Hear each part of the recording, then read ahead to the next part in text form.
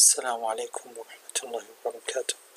في الدرس السابق شرحنا رتبة المعادلة التفاضلية ودرجة المعادلة التفاضلية ثم بينا أنواع حلول المعادلات التفاضلية.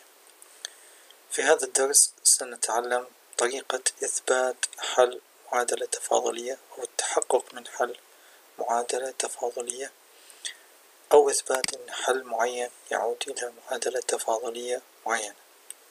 لإثبات أن معادلة ما هي حل لمعادلة تفاضلية يكفي تعويضها هي ومشتقاتها في المعادلة التفاضلية فيتساوى طرفاها المقصود هنا طرفا المعادلة التفاضلية كما في الأمثلة الآتية. نبدأ بهذا المثال. بين أن y يساوي اثنين x تربيع هو حل للمعادلة التفاضلية. x مشتقة y x مضروبة في مشتقة y تساوي اثنين y. نبدأ باشتقاق الحل بالنسبة ل x والحل هو عبارة عن y يساوي اثنين x تربيع لذلك ستكون مشتقة y تساوي لنا أربعة x. بعد ذلك نقوم بتعويض قيمة y وقيمة المشتقة في المعادلة التفاضلية. حيث x تبقى مثل ما هي y مشتقة y أربعة x التي وجدناها تساوي اثنين مضروبة في y والواي هي عبارة عن اثنين x تربيع تكون بهذا الشكل. x في أربعة x تساوي أربعة x تربيع اثنين في اثنين x تربيع تساوي أربعة x تربيع. إذا هذا الحل يعود إلى المعادلة التفاضلية المعطاة نبدأ الآن بالمثال الثاني. بين أن x تربيع زائد y تربيع يساوي c هو حل للمعادلة التفاضلية y مضروبة في مشتقة y زائد x تساوي لنا صفر. نبدأ أولا باشتقاق الحل ضمنيا لأنها ليست دالة صريحة. فيكون ناتج اثنين x زائد اثنين y في مشتقة y يساوي صفر. بقسمة الطرفين على اثنين نحصل على المعادلة التفاضلية المعطاة في السؤال. إذا هذا الحل يعود إلى المعادلة التفاضلية المعطاة. كما نلاحظ أن لكل مثال أو لكل سؤال طريقة معينة نستطيع بها إثبات أن هذا الحل يعود للمعادلة التفاضلية المعطاة. نبدأ بالمثال التالي. لدينا y يساوي أي x زائدا b مضروبة في e أس x هو حل المعادلة التفاضلية المعطاة نبدأ أولا باشتقاق الحل المعطى فنحصل على مشتقة y تساوي a زائدا b أس x ثم نشتقها مرة أخرى لتصبح مشتقة ثانية لواي تساوي لنا b e أس x. نقوم بتعويض قيمة المشتقة الثانية والمشتقة الأولى وقيمة y المعطاة في السؤال. المعادلة التفاضلية المعطاة أيضا بالسؤال لنحصل على المقدار كما هو موضح بهذا الشكل. بعد هذه الخطوة نقوم بإدخال x على هذا القوس. ليصبح الناتج ناقصا أي x ناقصا x إي أس بي إكس زائدا a x زائدا b أس x تبقى مثل ما هي. بعد ذلك نقوم بجمع الحدود المتشابهة واختصار حيث لدينا هنا سالب a x مع موجب a x تصبح صفر ويبقى المقدار بهذا الشكل. بعد ذلك نقوم بأخذ b الأس x عامل مشترك من هذين الحدين. ونأخذ أيضا السالب عامل مشترك ليصبح المقدار بهذا الشكل حيث نلاحظ أن هذا الجزء هو نفسه هذا الجزء إذا صفر يساوي صفر. إذا هذا الحل يعود إلى المعادلة التفاضلية المعطاة إلى المثال الآخر. بين أن y يساوي أن a إلى أس x زائدا b إلى أس ناقص x هو حل للمعادلة التفاضلية. المشتقة الثانية ل y ناقصا y تساوي صفر. نشتق الحل مرة واحدة ثم نشتقه مرة أخرى فيكون الناتج بهذا الشكل. ثم نقوم.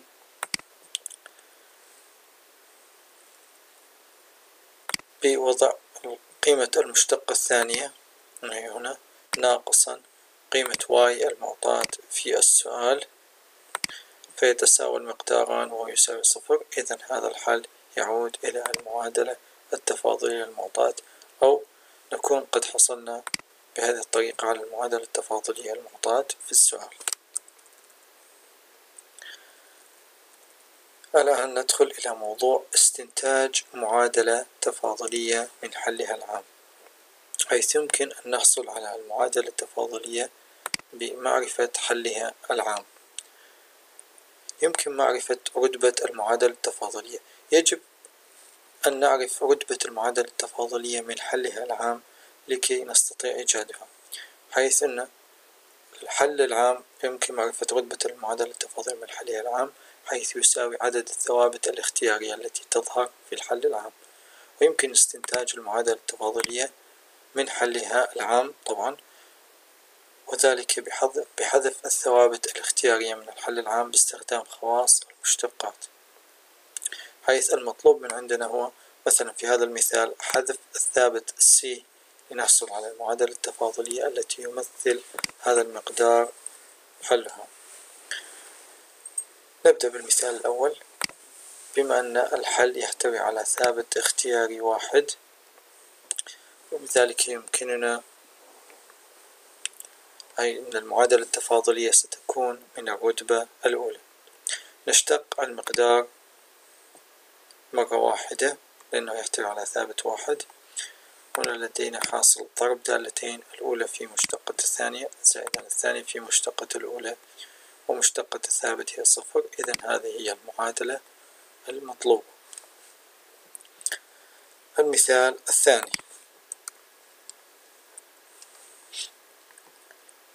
جد المعادلة التفاضلية التي حلها العام هو y يساوي c في ساين x. أيضا لدينا ثابت واحد. إذا نقوم باشتقاق المعادلة مرة واحدة. قبل اشتقاق المعادلة مرة واحدة نقوم بوضع المعادلة المعطاة ونسميها المعادلة واحد ثم نقوم باشتقاقها ثم نسميها المعادلة اثنين. الآن المطلوب من عندنا هو التخلص من هذا الثابت من المعادلتين لنحصل على المعادلة التفاضلية. نقوم بقسمة المعادلة الأولى على المعادلة الثانية ثم نختصر C. فيصبح لدينا y فتحة تساوي y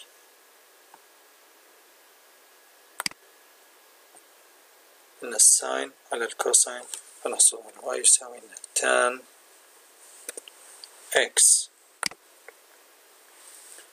ليصبح هذا هو حل المعادلة التفاضلية المعطاة. وكذلك يمكن استخدام طريقة المحددات أيضا لإيجاد حل المعادلة التفاضلية أو لإيجاد المعادلة التفاضلية من حلها حيث بعد كتابة المعادلة الأولى والثانية نقوم بأخذ المحدد ل y و y فتحة هنا ثم sin x و cosine x بهذا الشكل والمحدد يجب أن يساوي الصفر لأن هذين الحدين أو هاتين المعادلتين مرتبطتين خطيا. ويمكن إيجاد محدد مصفوف اثنين في اثنين وذلك من خلال ضرب عناصر القطر الرئيسي مطروحة من حاصل ضرب عناصر القطر الثانوي. أي أن y مضروبة في cosine x ناقصا sine مضروبة في مشتقتها تساوي صفر. ثم بعد ذلك نقوم بقسمة الطرفين على cosine x لنحصل على أن المشتقة y تساوي أن y tan x وهي المعادلة التفاضلية المطلوبة الآن إلى المثال الآخر.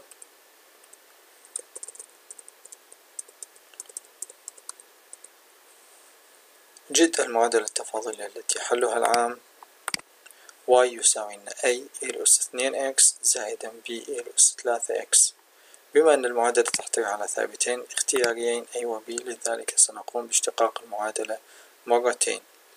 y فتحة ومشتقة تساوي لنا اثنين إلى أس اثنين x زائدا ثلاثة إلى أس ثلاثة x ثم بعد ذلك نقوم باشتقاقها مرة أخرى.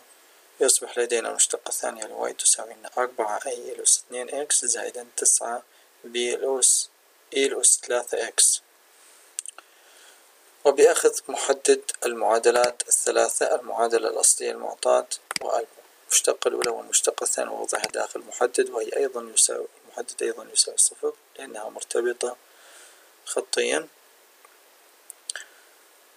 الآن المطلوب من عندنا هو إيجاد المحدد لهذا. في البداية لتسهيل الحل نقوم بقسمة العمود الثاني على e أس 2 x وقسمة العمود الثالث على e أس 3 x. وهذه العملية لا تؤثر على المحدد لأن الناتج المحدد معطى ويساوي صفر. في الحالة الاعتيادية عند قسمة المصفوفة على عدد معين أو مقدار معين يجب قسمة ناتج المحدد على نفس المقدار ولأن ناتج المحدد يساوي صفر فلا يتأثر بقسمة أي من الأعمدة على أي قيمة. لذلك تكون المصفوفة المتبقية بهذا الشكل ويمكن إيجاد محدد المصفوفة ثلاثة في ثلاثة بسهولة لنحصل على المعادلة التفاضلية المطلوبة. الآن نأتي إلى مجموعة من الأسئلة المحلولة أيضا. جد المعادلة التفاضلية من حلها العام في كل مما يأتي. أولا y تساوي أي x تربيع ناقصا bx زائدا c بما أنه لدينا ثلاث ثوابت اختيارية فنقوم باشتقاق المعادلة ثلاث مرات. وعند المشتقة الثالثة سنلاحظ اختفاء الثوابت الاختيارية. إذا المشتقة الثالثة هي المعادلة التفاضلية المطلوبة. إلى السؤال الثاني. حيث أن y تساوي أي إلى أس 2 x زائدا b إلى أس x نقوم باشتقاق المعادلة مرة واحدة ثم نقوم بإيجاد المشتقة الثانية أيضا. ثم نقوم بطرح المعادلة المعطاة من المشتقة الأولى لنحصل على أي يساوي إلى أس 2 x ونقوم أيضا بطرح المشتقة الأولى من المشتقة الثانية لنحصل على 2 أي إلى أس 2 x. الآن إما أن نقوم بضرب هذه المعادلة في اثنين ثم نطرح منها هذه المعادلة أو نضرب المعادلة الأولى في اثنين ونطرح المعادلة هذه الأولى من المعادلة الثانية أو نقوم بقسمة هذه المعادلة على هذه المعادلة أيضا. وبعد ذلك نقوم باختصار أي فنحصل على المعادلة التفاضلية المطلوبة. الآن نأتي إلى المثال أو السؤال الثالث. Y يساوي a sine 3x زائدا b cosine 3x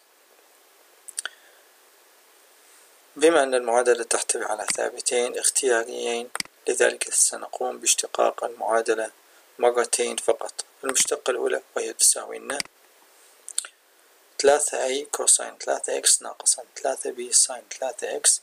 والمشتقة الثانية تساوي السالب تسعة a sine ثلاثة x ناقصا تسعة b cosine ثلاثة x. نقوم بأخذ سالب تسعة كعامل مشترك من المعادلة. هذا المعطاة وهي المشتقة الثالثة لنحصل على المقدار بهذا الشكل. نلاحظ أن الجزء الموجود داخل الأقواس هو نفسه السؤال المعطى والذي قيمته هو y. لذلك نقوم بتعويض قيمته y ثم نقوم بتحويله إلى الطرف الآخر لنحصل على المعادلة التفاضلية المطلوب كما نلاحظ أن لكل سؤال أسلوب وطريقة ويمكن حله أيضا بعدة طرق.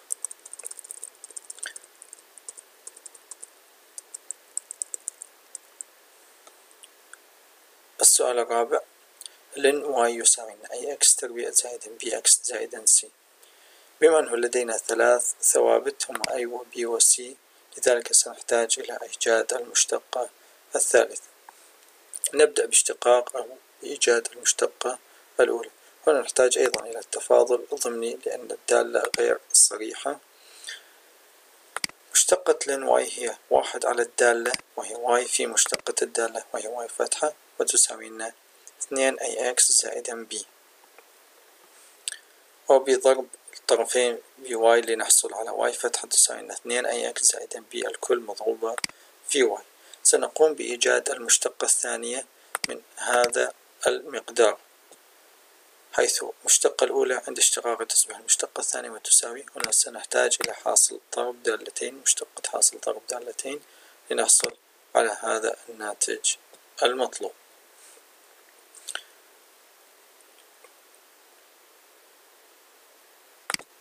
وكما نلاحظ فإن القيمة الموجودة هنا داخل الأقواس اثنين مضروب اثنين a x زائدا b اثنين a x زائدا b هي من هنا هي قيمتها y المشتقة مشتقة y على y.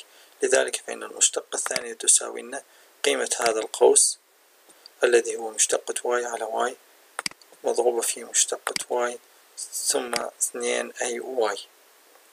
وبحل هذه المعادلة بحل هذه المعادلة من أجل اثنين أي سنحصل على أن اثنين أي تساوي لنا هذا المقدار. بعد ذلك نقوم بإيجاد المشتقة الثالثة ونقوم بإيجادها من هذا المقدار. تكون المشتقة الثالثة بهذا الشكل. حيث أن هذا المقدار أيضا نقوم باشتقاقه كحاصل ضرب دالتين. أما هذا المقدار فالجزء اثنين أي تعتبر ثابتة فقط نقوم بضرب في مشتقة y بعد ذلك نلاحظ أن قيمة اثنين أي x زائدا b هي موجودة لدينا وهي تساوي مشتقة y على y وكذلك قيمة اثنين أي أيضا موجودة وهي تساوي هذا المقدار. بعد تعويضها بهذا الشكل ثم ضرب الطرفين في y تربيع سنحصل على المعادلة التفاضلية المطلوبة. الآن نأتي إلى هذا المثال الآخر أو السؤال الخامس. y يساوي أي إلى أس x زائدا b إلى أس 2 x زائدا c إلى أس 3 x بما أن المعادلة التفاضلية تحتوي على ثلاث ثوابت اختيارية لذلك سنحتاج إلى اشتقاقها ثلاث مرات. بعد اشتقاق المعادلة ثلاث مرات ومع المعادلة الأصلية سنقوم بكتابتها على شكل محدد مصفوفة أربعة في أربعة وبقسمة العمود الثاني على e أس x والعمود الثالث على e أس اثنين x والعمود الرابع على e أس ثلاثة x. سنحصل على محدد بهذا الشكل. ولإيجاد محدد مصفوفة ثلاثة في ثلاثة يمكن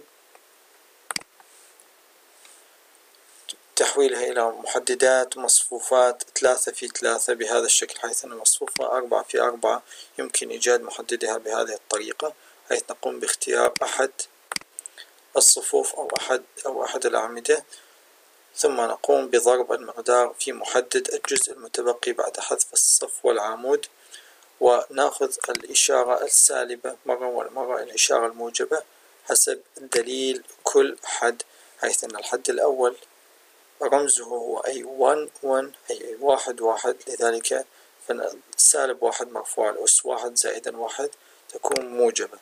أما في الحد الثاني فدليله يكون هو أي 1 2 لذلك سيكون سالب واحد مرفوع الأس ثلاثة. لذلك سيظهر السالب ثم الموجب ثم السالب بهذا الشكل. الآن المطلوب من عندنا هو إيجاد المحددات هذه المحد أربع محددات ثلاثة في ثلاثة بعد إيجادها وتعويضها. بهذا بعد تعويضها في المقدار أو في ناتج محدد أربعة في أربعة سنحصل على المعادلة التفاضلية المطلوبة. وكذلك يمكن حل هذه الأسئلة بطرق أخرى مختلفة قد تكون أسهل وقد تكون أصعب. وبهذا, وبهذا تعتمد على الشخص الذي يود حل هذه الأسئلة. الآن إلى السؤال الأخير في هذا الدرس وهو y إيجاد y تساوي أي هي أس x زائدا b هنا لدينا ثابتين اختياريين فقط لذلك سنقوم باشتقاق المعادلة مرتين فقط. اشتقاق المعادلة المرة الأولى تكون مشتقة y تساوي أي إي أس x والمشتقة الثانية أيضا تساوي أي إي أس x لذلك نلاحظ أن المشتقات متساوية بطرح المشتقة الأولى من المشتقة الثانية فإن الطرف الآخر يساوي صفر. نحصل على المعادلة التفاضلية المطلوبة. في الدرس القادم إن شاء الله سنقوم بمناقشة طريقة حل المعادلات التفاضلية التي تنفصل متغيراتها إن شاء الله. فلا تنسوا متابعتنا والإعجاب بالفيديو والاشتراك في القناة. شكرا لكم.